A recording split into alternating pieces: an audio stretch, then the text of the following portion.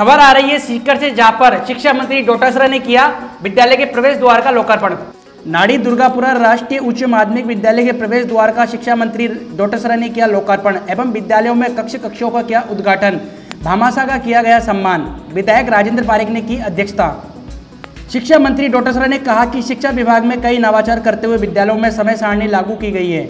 उन्होंने कहा कि प्रथम बजट के वर्ष में शिक्षा विभाग में 200 स्कूल क्रमोन्नत करने के साथ ही संसाधनों के लिए 1580 करोड़ रुपए का बजट पारित किया गया।